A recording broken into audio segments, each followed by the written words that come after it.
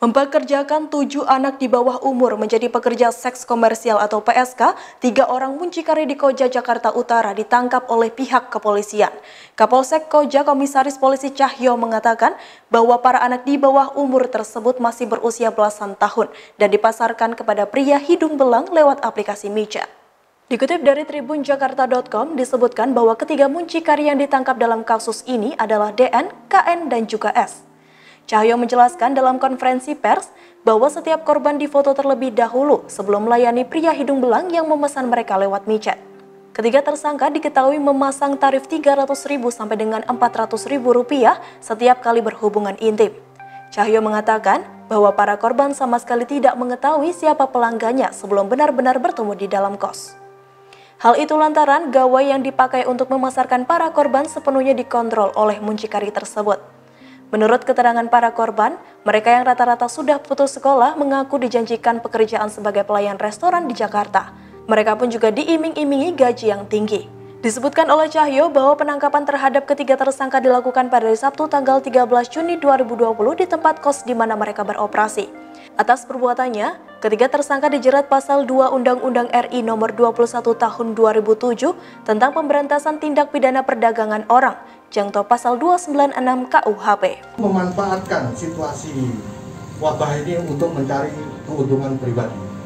Dengan cara yaitu memperdagangkan orang ya. Yang mana para korban ini hampir rata-rata di bawah umur dan pelaku ada berapa tiga orang yang berhasil kita amankan pertama yaitu saudari Dianovianti ya Kamsan Nurkolis dan saudara Suryadi. Dengan modus mereka ini menawarkan atau memperdagangkan anak-anak dua umur dengan cara menggunakan elektronik atau mencat ya menggunakan handphone yang teknologinya cukup tinggi jadi itu dimanfaatkan untuk bertransaksi dan mencari pelanggan pelanggan pemuas nafsu Ya. Dan ini sudah beberapa hari berlangsung dan kita dari Polsek Koja berhasil mengungkap dengan adanya info dari masyarakat sekitar bahwa di daerah Semper dan sekitarnya ada praktek prostitusi di bawah umur yang berkaitan dengan perkara tersebut sehingga kita tidak lanjuti dan kita bisa mengungkap kasus ini. Yang mana kasus ini kita kenakan undang-undang TPPO ya pasal 2 undang-undang nomor 1 nomor pasal 2 undang-undang RI nomor 21 tahun 2007 tentang pemberantasan tidak pidana perdagangan orang itu pasal 296 KUHP yang mana telah memberikan kemudahan dalam bertransaksi melakukan perbuatan cabul dan sebagainya.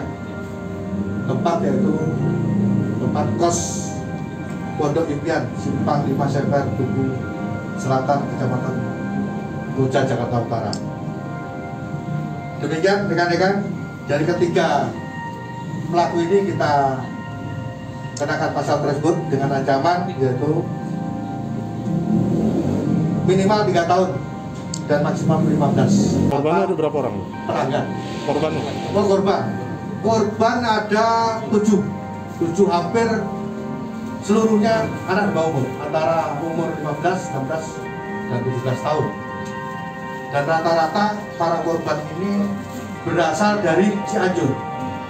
Dan mereka ini memang sengaja direkrut direkrut ditampung ya di salah satu tempat kos yang mana kos tersebut disediakan oleh para pelaku ini. Cara dia merekrut Oh, cara merekrut, nah, cara merekrut mereka ini uh, ke kampung, ke kampung halaman mereka di daerah Cianjur sana dengan mengatakan bahwa mereka ini nanti akan dipekerjakan di restoran di Jakarta dengan gaji yang cukup tinggi.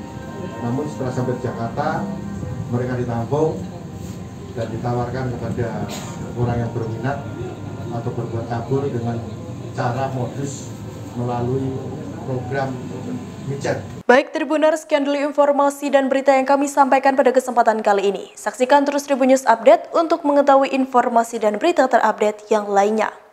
Terima kasih sudah nonton. Jangan lupa like, subscribe, dan share ya.